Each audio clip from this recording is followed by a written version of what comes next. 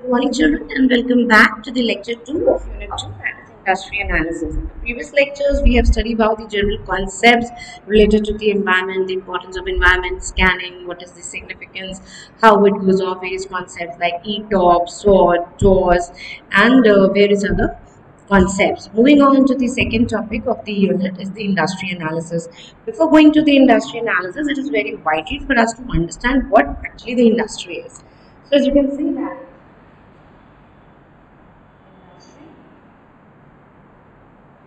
industry is a group of firm. It is a group of firm that have a similar kind of products or services such as uh, financial services or maybe soft drinks or maybe dealing into some specific kind of products. So these collaborating they are called as industry. So here we study that what is an industry analysis and what are the things that are moving with the uh, industry analysis and what is important in an industry analysis how these strategists design their strategy by analyzing industry by doing different kinds of analysis SWOT analysis and TOWS matrix for their industry.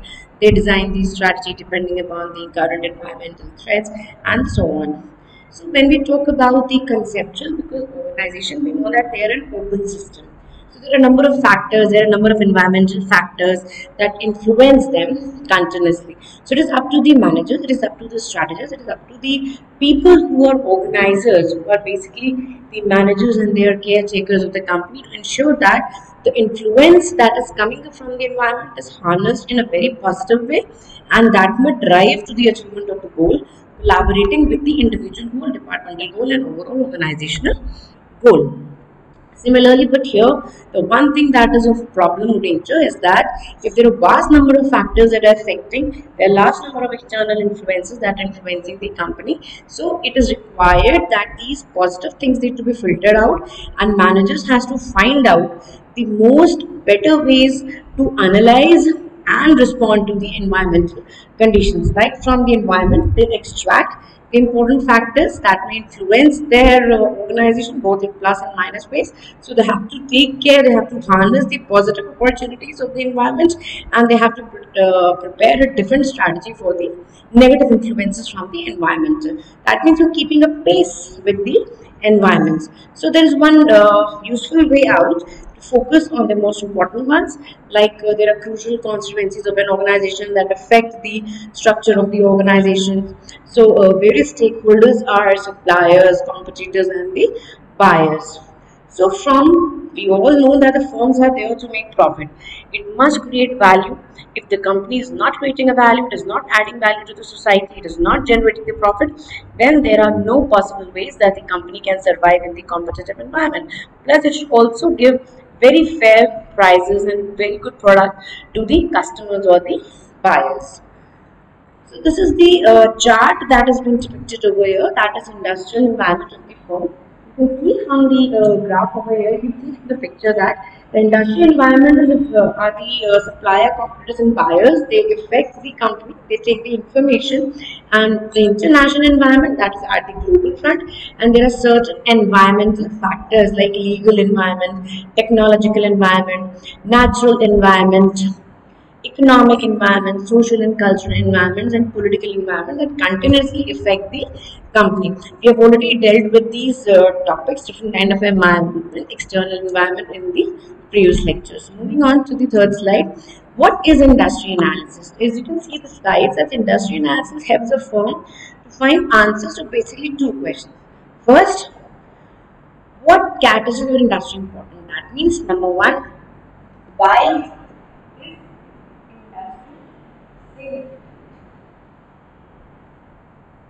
Number two, it says that why companies are moving on, how companies are beating the competition. Answer to the first question traces industry characteristics that affect incumbent firms, agile firms that contribute to average profitability of the company. When managers are following particular strategy that exploits the opportunities for the industry and they pose in a better better way uh, for the company's performance and they outcast the negative impacts of the company. Thus, firms performs better than the other rivals. That is the reason why one company is heading towards growth and the other companies are chasing the options uh, given by the other company.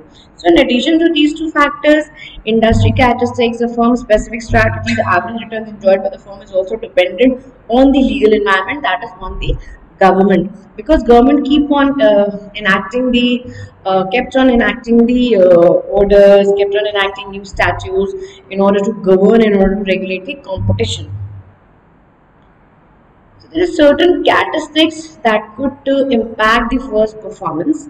There are certain factors there are certain uh, characteristics of an industry that continuously impact the firm's performance so there are 12 uh, points rated out. The first is the rate of demand growth. At what level, at what percentage there is demand being raised by the external market. And because demand and what are you giving in supply, what is the balance of demand and supply is very far affecting the growth of a company. Number two, the extent of product differentiation how much you're going for the product differentiation, what kind of a uh, variability, what kind of variance you are giving in your product, kind of a novice ideas you were giving in the niche market, how you are prevailing yourself in the market. Third, the price behavior of leading firms. If you have quoted a price of a particular brand of a particular product, what kind of a competitive price the other companies within the same industries are quoting. So you have to keep at pace. You should not be very high. You should not be even at loss. You have to sustain that competitive market. Fourth, the minimum efficient scale of production. The production should go on, but that should not be in excess that you are stocking and the product is getting outdated. Buyer switching cost. How much switching cost you are expecting a buyer would get fayda, the profit he will get by if he's switching from one brand or one product to the other brand product. Next, demand side, that is economies of the scale, the balance between the demand and supply. Next, specificity of plant and equipment in industry. How much specific the equipments and the plants you are using in industry for the production. The number of firms in a particular industry. The industry is having, particularly like we are talking about the leather industry. So there are how many companies that are uh, making a proper competition for the each other in the periphery. So you have to deal with that competition also. That means the company has to keep on surviving with these kind of factors also. The level and pattern of promotional expenditures, the rate and nature of what is the technological competition, what is the size of the firm and the consumer preferences for the products and for the related products. So in the said reference, Michael Porter gave up a model. He said that the nature and degree of competition in a particular industry depends on the five forces. This model is also called as Porter's five field forces model.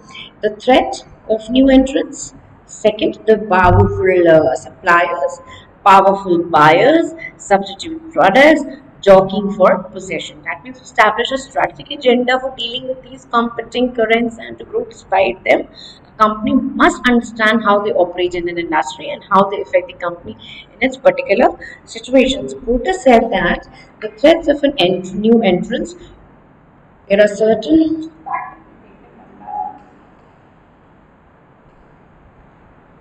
threats of threats of entry.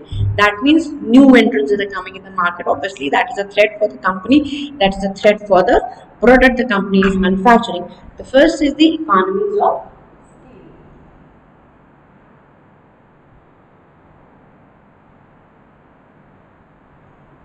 Second is the capital requirement.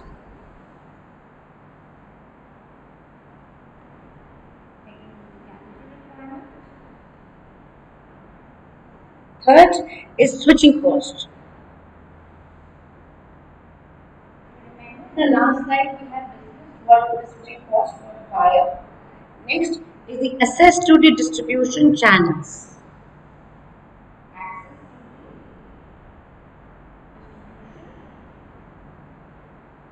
Channel. Access to the distribution channel, cost advantage that is independent of the SMEs and last government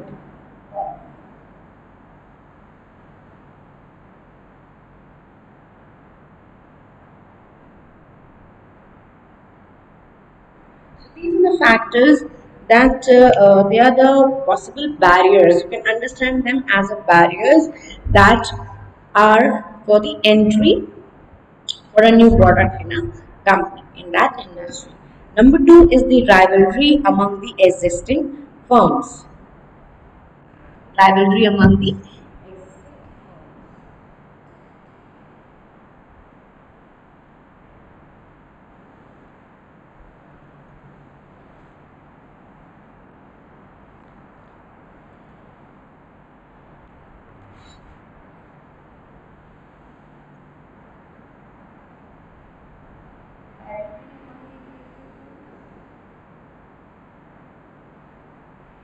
that when there are companies operating in a similar industry, they are competing among themselves. They are fighting, they're fighting for prices, they're fighting for the offer, they're fighting for the discount, they're fighting for uh, attract the uh, attracting the customers. So there is a rivalry. So there are numbers. So there are certain, uh, according to Porter, intense rivalries related uh, to the presence of the various uh, factors like number of competitors, the rate of industry growth, product or uh, service characteristics, amount of fixed costs, apart from that capacity, height of exit barriers and the diversity of the rivals. When there's a threat for the substitute product or the services, that means company coming up, there are certain companies they are coming with a substitute product at the low price. So there is always a chance for a customer to switch to the uh, substitute product instead of the original because people cannot afford the cost that are higher in a branches company. So there is a scope for these substitute companies, the substitute products to merge into the market and track or trace or take the major customer percentage from the uh, company or maybe from the main company. So there's a bargaining power of the uh, buyer. So the bargaining, the buyer purchases large proportion of the seller's product or services like oil filters by major water market. A buyer also has a potential to integrate backward by producing the uh, product itself. Apart from that, there are alternated suppliers as plentiful because the product is standard or undifferentiated. Then changing the supplier cost to a little extent. The purchased product uh, represents a high percentage of buyer cost.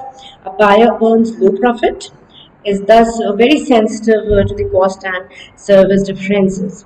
Lastly, the purchased product, the product that is purchased is unimportant to the final quality or price of the buyer. So the bargaining power of suppliers or the relative power of the other stakeholders. So there are various factors that affect according to the Porter if you go back to the uh, if you go to the diagram suggested by the Porter. So you see there are four uh, basically barriers and threats of new entrants. We have discussed the bargaining power of buyers the threat of substitute products bargaining power of suppliers. So when you talk about the threat of new entry so there are barriers entry economies of scale brand loyalty capital requirement cumulative experience government policies, access to distribution channels, and the switching costs, as we have just discussed over here. Then you talk about the rivalry among the existing competitors. So there are a number of competitors, the diversity of the competitors, industry concentration, industry growth, quality differences, brand loyalty, barriers to exit, and the, again, the switching cost is similar to that of the threat of new entrants. When you talk about the bargaining power of the suppliers that keep on affecting the uh, company with respect to the Porter's model as the number and size of suppliers, uniqueness of each supplier product, what kind of a unique product the supplier is offering to the company, focal company's ability to substitute. Then bargaining power of the buyers. Bargaining power of buyers We'll talk about the number of customers. There's one of the factor number of customers, size of each customer order, whether he's giving a bulk order, whether he's giving a limited order, whether he's a regular customer, or whether he's uh, coming in just because he's not getting his brand in a different company. Price sensitivity. What is the difference between the competitors? Buyer's ability to substitute, buyer's information availability, and again the switching cost. Then threat of substitute product number of substitute products in the available buyer's propensity to substitute relative price performance of the substitute. If the substitute is doing well in comparison to the original product then why customer is going to keep on going uh, with the new product uh, the old product? He will definitely switch to the uh, substitute product because it is at low cost and is giving a better quality in comparison to the previous product that he was using. Perceived level of product differentiation and again the switching cost. So industry analysis is very helpful because it helps to assess the relative strength and weakness of the company. It also uh, helps to analyze the opportunity and threats in the environment so that the managers can harness the uh, opportunities uh, and strength, utilizing the strength as if you remember that maxi-maxi approach in the last lecture. So through industry analysis, the organization is in a capability, organizes an ability to find whether the field that he has chosen is very well attractive or he also accesses own strength and weaknesses in the industry, where that company is standing in an industry. So industry analysis uh, helps the company in basically two ways. Firstly, industry attractiveness and competitive position. So industry attractiveness that the first the company tries to find out that where at what point at what ratio at what profit the company is holding a place in an industry what is the position of an industry with respect to the other competitors within the same industry? Similarly competitive position.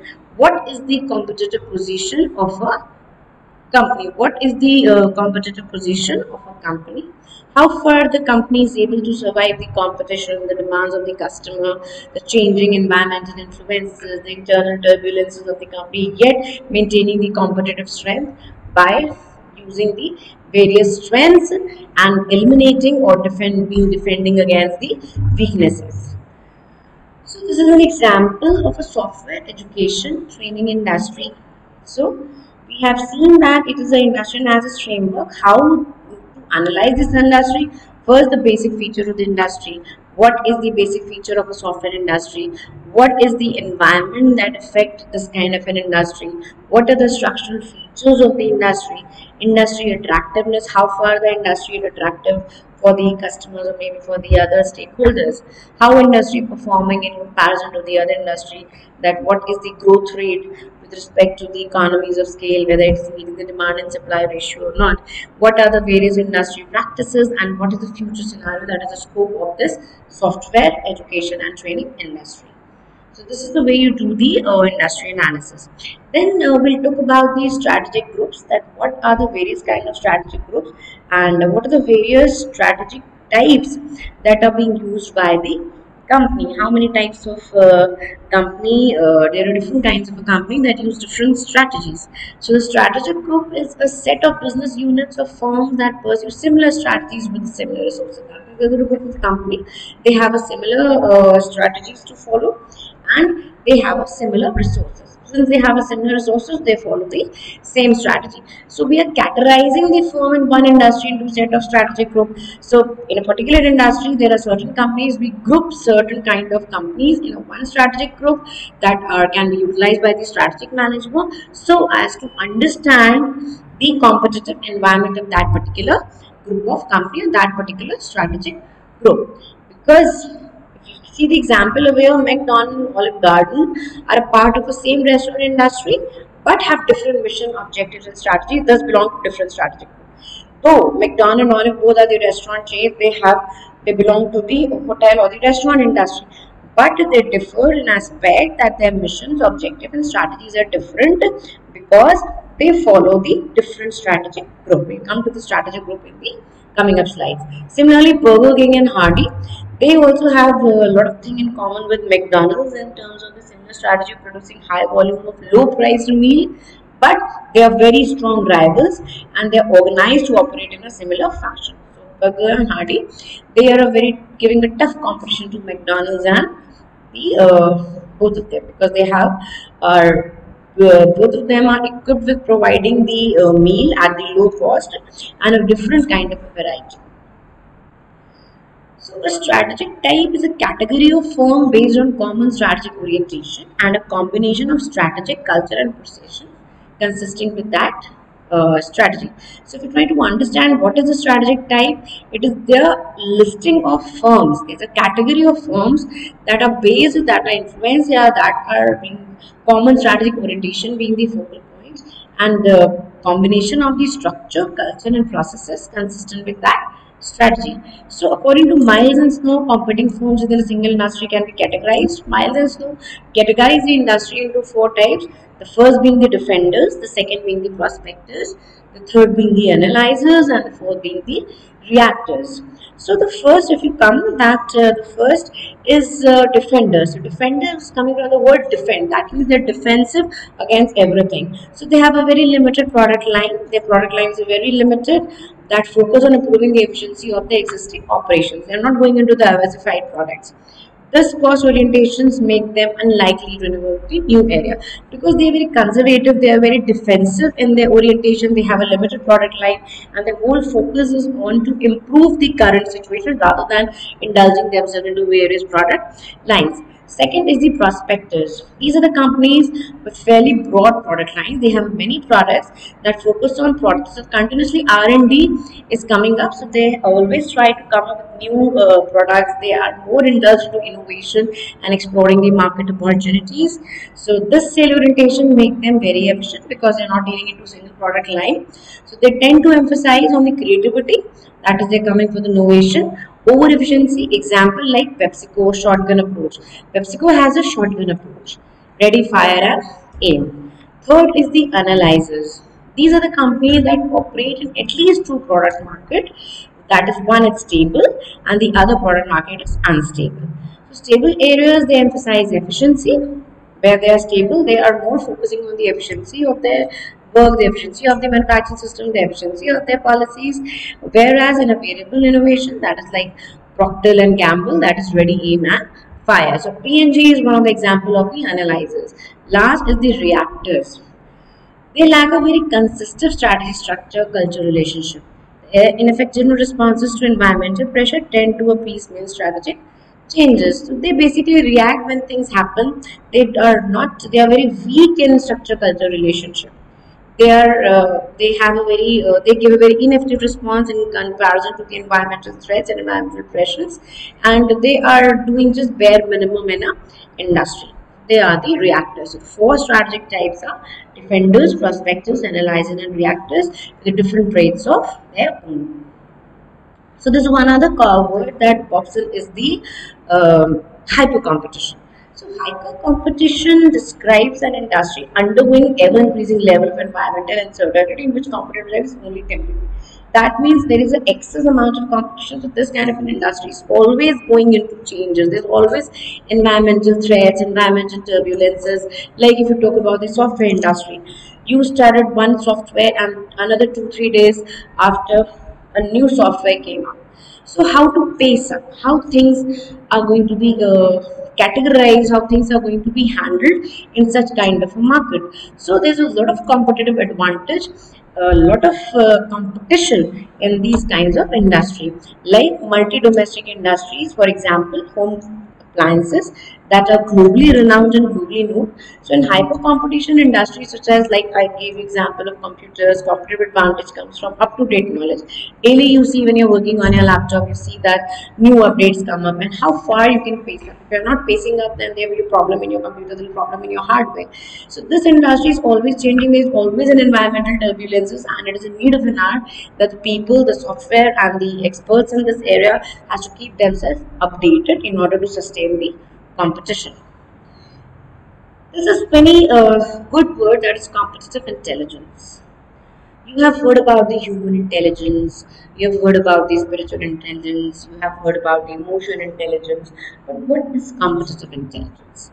Competitive intelligence is also called as business intelligence. And it is a very fastest growing concept in the field of strategic management. That means the strategic the managers and the wholesale owners of the company are relying more on the competitive intelligence. It is a very uh, devised formal program in order to get the information on the competitors of the company. That means this process works in order to get the information about the competitors so that information can be utilized and accordingly the strategies can be designed. For example, at General Mills, all employees are trained to recognize and tap sources of the competitive information. So there's a proper training program that trains the employee in order to get the information and to filter the right information from the environment so that they are suiting it to their needs and then they're devising their strategies accordingly. So competitive intelligence is the activity of monitoring the environment. You are continuously monitoring the environment external that is external to the firm for the information so that you can extract the relevant information that can help in the decision making process for the company. So main objective behind the CI is not to uh, copy the uh, secrets of the competition or maybe the competitors or maybe steal their ideas or just to follow in a very systematic manner and to take the information, collect the information, relate it, analyze it and give them the basic understanding of the competitor structure, policies, culture, behavior, capabilities and weaknesses. Accordingly, they can design their strategy. They are studying the other industry, they are studying the other uh, companies within the same industry. So it's very important for any organization, any firm to really excel in competitive intelligence to keep their network open in order to sustain at the global front in order to sustain at the local front. So there are various sources from where do managers get the information. So there are two sources, primary sources and the secondary sources.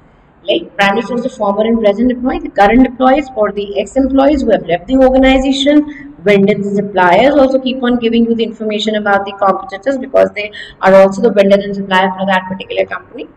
Dealer network what kind of dealer chain they are following. You get information from your dealers your customers your reporters your investment analysts trade shows and conferences because whenever the trade show or conference is being organized every uh, competitor tries to come because there you get a glimpse of what the other companies and the other industries are doing and why they are doing better what new thing you are coming up in the market with then there's a news group what are the secondary sources? Secondary sources are already the published material like the annual reports, press releases, local newspaper, trade magazines, analyst report, companies newsletter, online databases, academic paper and journals, government agencies and publications.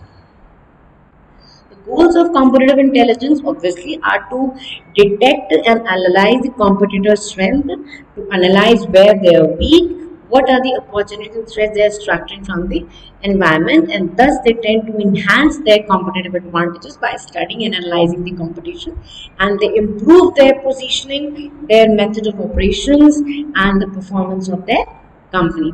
So there are certain benefits of competitive intelligence like it bolsters the company profitability, it maximizes the opportunities for the company, it also protects the company against external threats and it also projects the external threats. It optimizes the operations and performance benchmarking. That means it makes the optimum utilization of the resources. It helps in knowledge management. It also protects the intellectual property, insights. It gives information about the merger and acquisition. It also helps in making the strategic decision in the favor of the company. Competitive intelligence can be applied at various places like profiling competitors, benchmarking product process and performances, technology assessment, environmental scanning, due diligence for corporate acquisition, market position with respect to the competitors. So these are the areas where competitive intelligence is being utilized and harnessed by the strategists in a company. So this is the model given by James Boron and David Krebs because he said that there are certain factors that uh, due to which the competitive uh, intelligence is a success in a company. Like the first is the organization culture and the structure how the organization is structured what kind of a structure the company is following what is the strategy organization following we have already said the kind of strategic groups what is the production technology they're using it is an outdated or is it an updated or is it an outcast technology what is the external environment they're scared of how the external environment is affecting the company and how far they're devising a strategy to fight back and the workforce there what kind of blend what kind of a talent mix do they have this is the CI process. That is competitive. It's very simple. They analyze the need of competitive. First of all, they analyze why competitive intelligence is important. If at all they are training the employees in the competitive intelligence, then what is the need? What they want to get information about? How they want to utilize that information? So first the need should be generated to analyze the uh, competition uh, market or maybe the industry. They, they may be the company, they are competing in competition with. Second, the information gathering. They gather the information relevant to them from the external, they filter out the important and they tend to organize their facts that are important for them or that they think that that would be important for them. Third, they analyze the data. data that they have got from the information from the various sources like primary sources and the secondary sources they tend to analyze it make it into a workable uh, points a workable facts then they tend to disseminate the intelligence. They tend to uh, forward the information in an organized way to the strategists maybe to the upper level. And finally, they use this intelligence for devising various strategies, processes, improving over their weaknesses, studying the competitors, devising their new products, and many more ways. So there are certain reasons uh, why competitive intelligence fails. So the causes are lack of operational fluidity. That processes that you have designed are you not able to collect or gather, you're not able to analyze the right information from the environment. Lack of intelligence network. People involved in the competitive intelligence are not well equipped or trained or are not having the conceptual clarity. Lack of training, lack of education, and lack of perceived value. Symptoms are like bureaucratic red tapeism and inefficient communication, lack of intelligence effective symptoms are adverse behavior of the personnel, inappropriate selection of the vendors, time mismanagement, impractical deadlines, unfocused and ill-defined uh, competitive intelligence needs, and last part, the managers are not able to do the competitive intelligence of the company. They are inefficient. So with this, we come to an end of lecture 2 for any doubts you can always get back to me and uh, let's give a quick recap what we have studied so far so we started with what is the concept of industry why industry analysis is important we moved to, to the porter uh, model for uh, more detailed analysis in order to study the degree of competition in an industry and the various factors that are affecting that enhances the rivalry among the existing. Then we studied the usefulness of the industry analysis. We also studied the software education industry, the pattern for analyzing the industry by taking software industry as an example we also got through the strategic groups which here we studied that there are four kinds of a strategic group defender prospector analyzers and reactors. We also studied the hyper competition. That is always turbulent external environment affecting the company like hardware and computers. We also studied the competitive intelligence sources goals benefits applications models of competitive intelligence and the ci process and also the failures. Now you can get the question about the competitive intelligence, the method, the sources and what are the failures and what are the causes or the symptoms of the intelligence. With this we come to an end of lecture 2. After the quick recap, we also done the recap. So uh, keep on revising. We'll be meeting soon in a lecture number 3. Thank you.